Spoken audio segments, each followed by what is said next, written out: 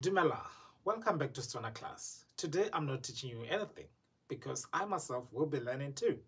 So I'm going to share with you a video of a great historian in Botswana that will be telling us about the three chiefs that played a very important role in making sure that Botswana is an independent country. Please watch with me.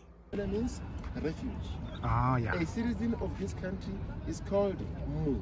Tswana. M-O. Ba is plural. Yes. More than one. So Okay. we're showing a portrait of a fighter or a warrior because we're talking about the wars. So these wars are known as the Tifakane wars, some say Infetane wars. Okay. So Tifakane is more of Sesotho, Infetane more of the Nguni languages. Okay. It has different meanings. It can mean splitting, crushing, scattering, or times of troubles. Yeah. So these were the wars which were caused by different factors. From the south, you can say South Africa, and the wars spread through the whole of Southern Africa. Mm. The wars, the wars started earlier, before 1820s, but this was the epic period of the of the wars, and the ended in the 1850s.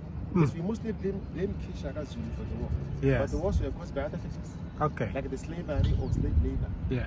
ivory trade, famines and droughts, competition for land, superiority complex among kingdoms, and the rising of the Zulu kingdom under King Shaka Zulu. Mm. People to flee the wars from the south, going westwards, northwards, eastwards. So I say this country became a refuge Mm. to the Tifakana wars, people coming to Botswana English numbers.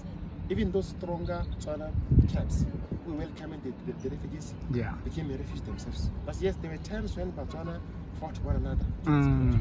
We also wanted to expand. Some passed to other countries like Zimbabwe, Yeah. Zambia, Malawi, even up to Tanzania. But today, there are more Botswana in South Africa than here in Botswana. Wow. During this period, there were no proper borders or boundaries for countries. 1895, Yeah. they were protesting against the transfer of this country to a system of this company, Ah. Company. Rhodes took over Zimbabwe, Zambia, and Malawi. Zimbabwe was called Southern Rhodesia, Mm. Zambia, Northern Rhodesia, Malawi, Nyasaland. Mm. Rhodes' plan was to pull and to control the whole of Africa from Oh. Cairo. It is that small. So Yeah. he convinced the, the British officials here to transfer to this company. Wow. So secretly, they agreed with him. But Botswana were against being given to the company. They went to protest. Wow. 1895. Oh. Yeah, but there were a team of nine people. Okay. Reverend William Charles Willoughby from the London Eastern Society Mm. was there interpreting the advice. He was with his nephew, son Howard. Mm. Simon Sisa, a man from Lesotho, was with Khan. Mm. Likutile, Kofi Amang was with. But it took two men, David Sewanofo and Gwenati.